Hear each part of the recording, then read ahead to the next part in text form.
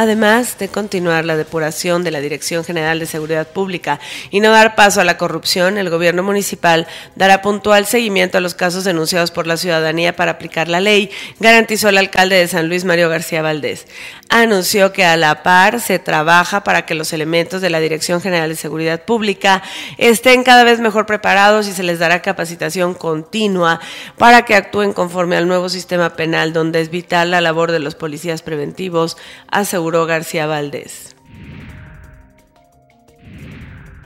El horario de verano genera un ahorro de energía eléctrica que se ve reflejado económicamente en 11 mil millones de pesos anuales en nuestro país. Así lo dio a conocer el gerente de la División Golfo Centro de la Comisión Federal de Electricidad, José Paz de la Fuente Vázquez, quien informó que el día 26 de octubre concluye este horario. Insistió en que los ahorros son importantes y cada año se da a conocer la cifra que se tuvo durante los siete meses en que se implementa el horario de verano.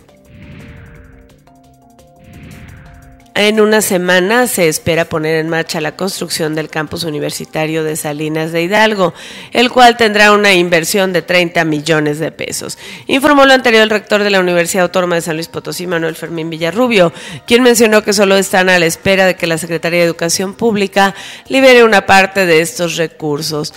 aseguró que la inversión se hará de forma bipartita entre la SEP y el gobierno del estado, por lo que el proyecto de la obra ya está listo, además de la donación del terreno que se realizó por parte del ayuntamiento de Salinas de Hidalgo, aseguró el rector.